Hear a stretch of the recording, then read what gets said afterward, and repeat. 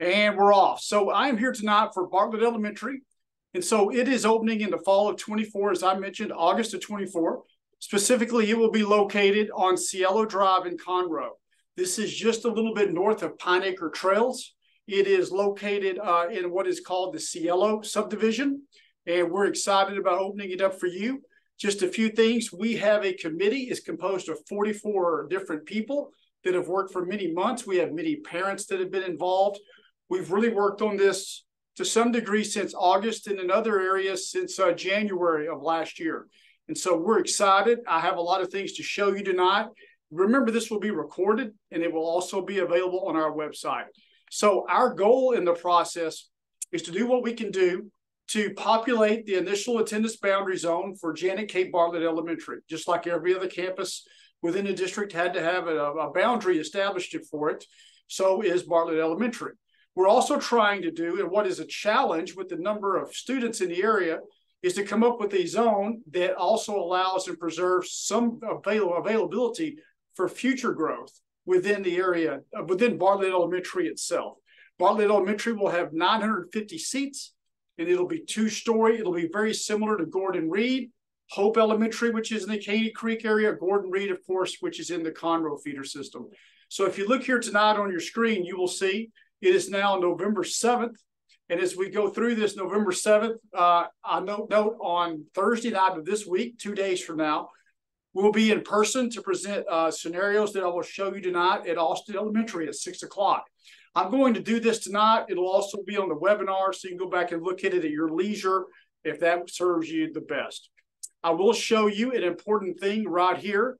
If you look right here at uh, Conroe ISD at a, uh, the boundary tile, right here, what you'll see, if you can click on that, it will take you to information on the uh, on the boundary process. Right here where it says Conroe ISD Attendance Boundary Committee, you can click on that at any time. Some of the things that you will see within it include uh, the information on uh, last time we had a webinar, which was on October 5th, the presentation notes from when we were at Austin Elementary back on October 12th.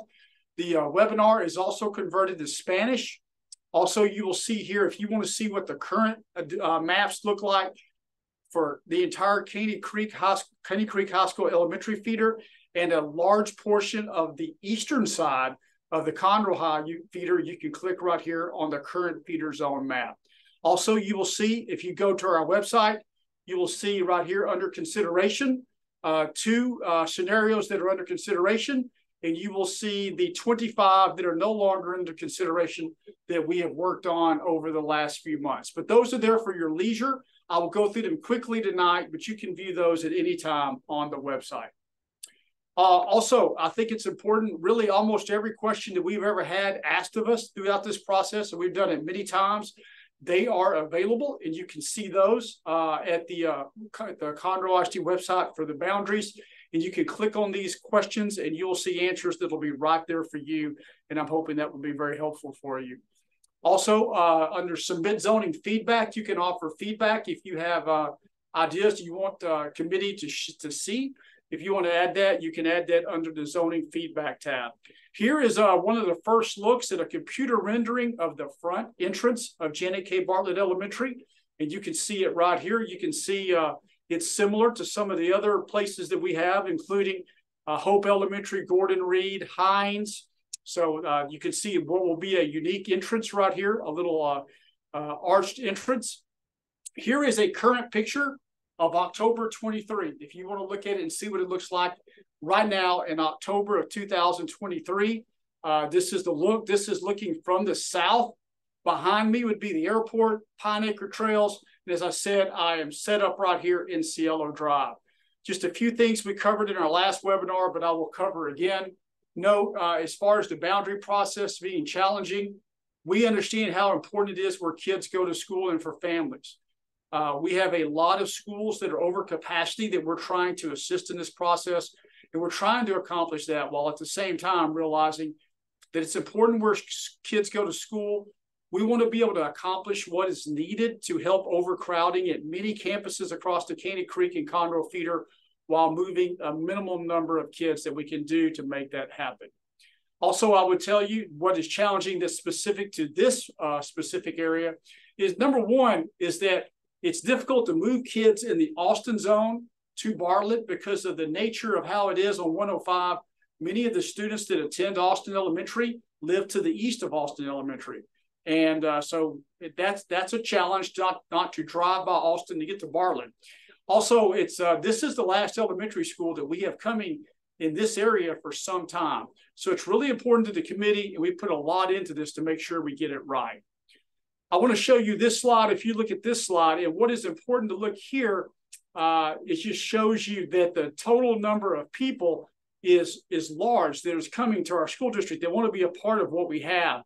And if you look at it, you can see the areas that are in dark uh, red, for example, Patterson, Austin, Milam, the number of students that are represented in the next uh, eight, nine years, those are all equal to a new elementary school.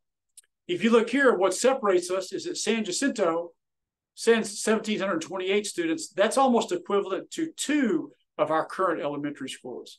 And then you can see the areas that are in orange. Those are approaching a school, maybe three quarters or 80% of a school.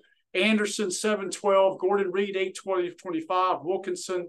And then you can see the other areas where a lot of kids are coming, including Reeves, Houston, and Runyon. So we'll talk more about that and I'll give you some numbers.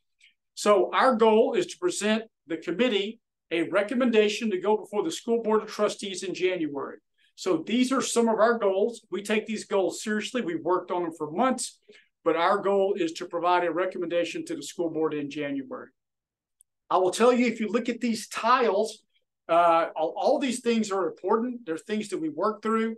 I will tell you that uh, geographical proximity is part of what we look at, although sometimes it may be closer and easier to get to one school, even though I may live closer to another school. We also take into account in this process because we have so many campuses that are over capacity, uh, what is going to be needed as far as how much they can handle a particular school for additional portable buildings if that's needed. And that is not our goal or desire, but it's something that we have to take into consideration. This is a look, a quick glance at the elementary feeder within Caney Creek. And you can see uh, we have a number of schools that are over capacity. Particularly of interest within the Caney Creek feeder are Creighton Elementary, which is at 152% of capacity. Creighton is a smaller school with a capacity of 650 students. And Austin Elementary, which is growing quickly and has a large swath of area that's expected to grow rapidly and is currently at 116% of capacity with seven portables. If you go to the Conroe feeder, you can see that we have a large number of schools that are over capacity. In this particular zoning process, we're looking closely at Anderson, we're looking closely at Patterson, we're looking closely at Reeves, Runyon, Wilkinson, a little bit at Rice. So there's a lot of areas we're trying to solve and make things better for. And so I'm going to give you more information, but this is our current status as far as our capacity of campuses within Caney Creek and Conroe High feeders for elementary. Here's a quick look at the current map. I think it's important to look periodically at the current map to refresh your memory of where we go now. And that makes understanding the scenarios that the committee has come forward with, the two of the 27 that are currently in play, it makes them easier to understand. So just for ease of view, if you look at this, I would say if you look here, if you see right here in the uh, yellow, this is uh, Bartlett Elementary right here. This is the Patterson zone, Austin, Creighton, Milam is blue, Hope in the purplish color. At the bottom is San Jac, Wilkinson. You can see BB Rice to the left or west of 45. Right here in the middle along 75 is Armstrong in pink, Runyon in orange. You can see Sam Houston in green and Reeves in blue and Anderson in gray. That's just a quick tour of the district. Uh, I want to show you, this is one of the two that are currently alive right now. And you can see this is scenario 7.1.1. And uh, you can also look at our website and see version 7 and 7.1. 7.1.1 is an offshoot of some of those.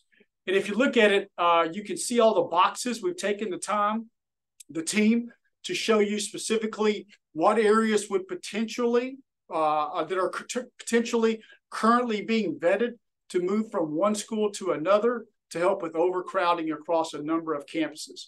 So just a couple of things to uh, show you to stand out.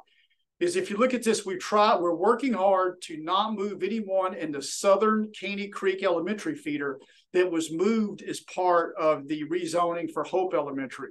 You can see here, we're trying to make choices that appear that make sense as I try to navigate the roads to get from uh, to Creighton and to Austin. You can see up here in this area up top, everywhere you see that shaded is a fast growth area. I'm showing the area up top that is this brownish color because that is the potential home and the potential zone for the initial attendance boundary for Bartlett Elementary. Here is 9.1.2. I will uh, pause on it for a second. Remember, you can look at it at your leisure on the uh, Conroe ISD Boundary website, and you can pull it up at any time. But here's a quick look. And so this is 9.1.2 and how it contrasts to what I showed you earlier on 7.1.1. Once again, trying to make good decisions trying to uh, find a way based on what we have available for capacity in the near future to make decisions that work well for families, works effectively for kids, and will fit within the building capacity that we have. So some common questions we have. So the most common question we get when we go out and do presentations is, you know, how are school sites chosen? And there, there are a lot of ways that school sites are chosen. But I will tell you, demographic reports are a big part of it. Uh, where's the growth coming? And I showed you on version 7.1.1 and 9.1.2 where we see the growth is coming. So it's important to look and help for overcrowding that we have now while taking into account where kids are coming and they're coming quickly. So we make good decisions that will allow us to go as long as we possibly can with the seats we have uh, to make zoning work for everybody. But you know, for land cost, roadway access, a big part of it uh, in the Caney Creek and Conroe area too is availability of utilities, which is why you see so many schools in the Caney Creek feeder, for example, that are in the uh, triangle right there in Grangerland between 3083, 2090, and 1485. Uh, another question we get often is, we specifically purchased our home to go to this school. We understand that's important. It's important to us. That's why when we rezone out of necessity, we try to keep numbers uh, as minimal as we can. But as a fast growing district, like other fast growing districts, periodically we have to rezone uh, due to capacity issues. And really, uh, every time that we have a new campus, we have to establish an initial boundary for that campus. In this case, we're doing this for Bartlett Elementary. Our initial focus is pre K through four we would look at pre-K through four would be our initial focus. So we're excited about that. How likely is it that my neighborhood will be rezoned? Uh, we will know once we go through the process. Remember, ultimately, it is the decision of the school board, and that we anticipate that decision being made in January. But you can look at the scenarios, all 27 scenarios, the ones that are no longer in play and the ones that are in play currently, and it will give you a good idea of where we are at this moment. Uh, so special programs, we will determine those administratively at the end. Once we see what the numbers look like and where we have availability to fit certain special programs, uh, our goal is to have students attend a special program at their home campus or close to their home campus, but we will determine that administratively at the end. So here's a question we get a lot is what if my child, for example, what if my child is going into their last year at Austin Elementary? So if they're going into fourth grade at Austin Elementary, but say they were rezoned to Bartlett Elementary, what we will normally do if space is available, a parent can request a transfer, transfer. And provided that the uh, parent can provide transportation to and from, we will allow a child to complete his or her last year at a school, for example, in this case, a fourth grade student at the campus of which they request a transfer to. In this example, I used uh, Austin Elementary. Another scenario would be if, if I'm a family and I have a child who I have an incoming fourth grader at Austin Elementary, but say I also have an incoming second grader at Austin Elementary. And normally, if space is available and provided that uh, you can provide transportation, normally we will allow those transfers for a child to finish out his or her last year and potentially a sibling also. So, how often might an area be rezoned? We try not to do it any more often than we have to. We had to rezone recently, uh, you know, Hope Elementary and the Caney Creek feeder, Gordon Reed on the western edge of the Conroe feeder. So this particular scenario, we were not able to impact rezoning on the west side of the Conroe feeder. For example, Giesinger is not involved, Gordon, Reed, and Stewart. So uh, we try to rezone no more often than we have to. And we've really tried as a uh, committee not to rezone people that are in the southern portion of the Caney Creek feeder because that rezoning occurred in the year 2021 when we opened up Hope Elementary. So, but we try not to rezone any more often than we have to. Can the community vote on a scenario? Well, the answer is uh, the board makes the decision. You can always submit feedback through our submit feedback button on the community webinar page. And uh, all that information does go to the school board when they make a decision. That is what I have tonight. It is, uh, we will take this information. It'll be translated into English. It'll be available for uh, view anytime you like. I encourage you though, if you want to watch the webinar, I think it's helpful. Everything almost that I put in the webinar is also available at the at the attendance boundary website for Janet K. Bartlett Elementary. So thank you for joining us tonight. We appreciate you. Uh, it is the uh, 7th. We will be in person at Austin Elementary on the 9th at 6 o'clock to look at some scenarios on poster boards. And you're certainly welcome to join us then also.